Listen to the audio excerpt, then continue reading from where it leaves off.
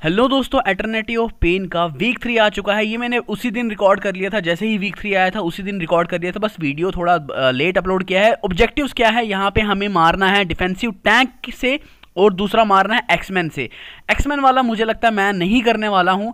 Defensive tank वाला हम करने वाले हैं। मेरे पास डिफेंसिव टैंक में हल्क बस्टर है हाइपीरियन है, लेकिन मैं हल्क बस्टर से ट्राई करने वाला हूँ और उसी से मैं इसको कंप्लीट करने वाला हूँ। जल्दी से एंटर करते हैं हल्क बस्टर को लेके जाते हैं और यहाँ पे जल्दी से जल्दी बिशप को मारते हैं। बहुत आसान था ये वीक थ्री वाला। बहुत ज़्यादा आसान था।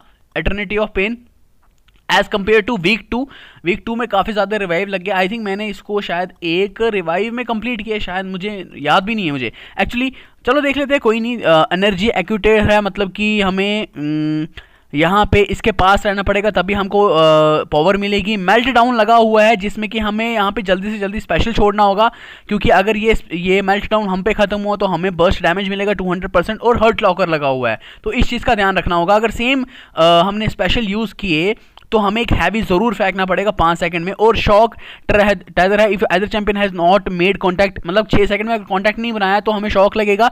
और यहाँ पे अगर हम इंटरनेट इम्यून है तो इसे स्टन इम्यूनिटी मिल जाएगी बिशप को। तो ये नोट्स लगे हुए हैं। ओके तो गाई जल्दी से फाइट में चलते हैं एंटर करते हैं एंड जल्दी से जल्दी फाइट करते हैं। कुछ बूस्ट है जो मैंने यहाँ पे यूज़ किया है लेसर अटैक बूस्ट है, जैसे कि चैंपियन बूस्ट है, या हेल्थ बूस्ट है, वो यूज़ किए मैंने। अटैक में बहुत ज़्यादा थे तो यूज़ कर लिए मैंने यहाँ पे। अब यहाँ पे हमें क्या करना है ज़्यादा से ज़्यादा इसके पास रहना है, ताकि हमारी पावर बनते रहे यहाँ पे। उसकी वजह से हम यहाँ पे जल्दी से जब पावर गेन करेंगे एंड जल्दी से जल्दी यहाँ पे इसे मार पाएँगे। मेल्ट डाउन लगा हुआ है, मुझे जल्दी से जल्दी यहाँ पे अपना स्पेशल छोड़ना होगा। ताकि मेल्ट डाउन उस पर चला जाए एंड जल्दी से जल्दी उसको ही बर्स्ट डैमेज मिले, मुझे ना मिले। और वीक टू का मैंने दूसरा ऑब्जेक्टिव नहीं किया था, इसलिए मेरे पास पाँच ही पॉइंट है इंटरनेटी ऑफ़ पेन में। इसको कंप्लीट करने के बाद सात हो जाएँगे, जहाँ तक मुझे पता है, सात हो जाएँगे पॉइंट्स एंड चलो देखते हैं, जल्दी से जल्दी, आसान था वैसे ये बिशप को मारना इतना मुश्किल नहीं। गाइज़ हमें यहाँ पे जल्दी से अपना स्पेशल छोड़ना पड़ेगा, लेकिन इसने अपना स्पेशल वन यहाँ पे छोड़ दिया था। अब हमें इंटरनेट मिलेगा तो हमें ज़्यादा से ज़्यादा इससे दूर ही रहना होगा, क्योंकि भाई इंटरनेट इसने अगर लगा दिए ज़्यादा से ज़्यादा हम पे तो हम ऐसे ही मर जाएँगे फालतू में।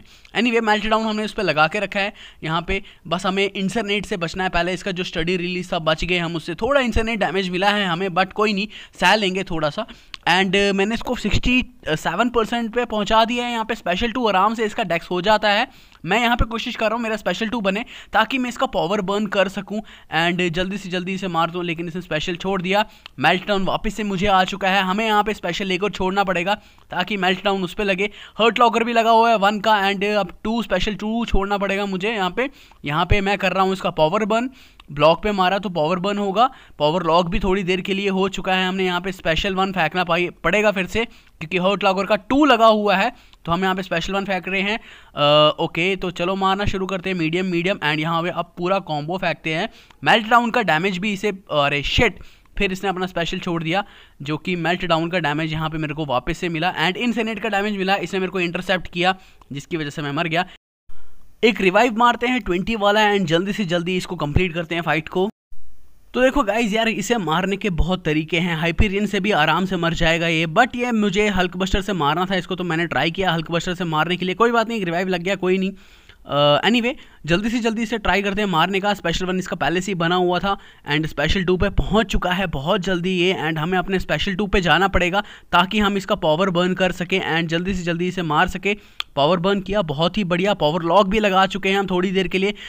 हर्ट लॉकर का स्पेशल टू आ चुका है यहाँ पे। हमें स्पेशल वन छोड़ना होगा ताकि हर्ट लॉकर का डैमेज हमें ना मिले एंड मेल्ट डाउन लगाया है मैंने इस पर मेल्ट डाउन इस पर चल रहा चल रहा है अभी। आई होप कि मेल्ट डाउन का डैमेज इसी का इसी को मिले। ये ज़्यादा से ज़्यादा अपना पावर यूज़ ना कर पाए एंड uh, अपना स्पेशल नहीं यूज़ करना चाहिए। भाई ये बंदा अरे स्पेशल यूज़ कर दिया इसने फिर से अगेन स्पेशल यूज़ किया। मेल्ट डाउन का वापस मुझे मिला है। यहाँ पे स्पेशल टू यूज़ करना पड़ेगा मुझे ताकि इसको डैमेज मैं प्रोवाइड करूँ एंड यहाँ पे स्टडी रिलीज़ के लिए मेरे को यहाँ पे इंसरनेट लग रहे हैं। थोड़ा सा टाइम वेस्ट करना पड़ेगा। यहाँ पे स्टडी रिलीज़ चल रहा है उसका तो हमें थोड़ा टाइम वेस्ट करना पड़ेगा क्योंकि इंसरनेट डैमेज हमें मिल रहा है भाई। तो मैं नहीं चाहता मुझे इनसे डैमेज मिले।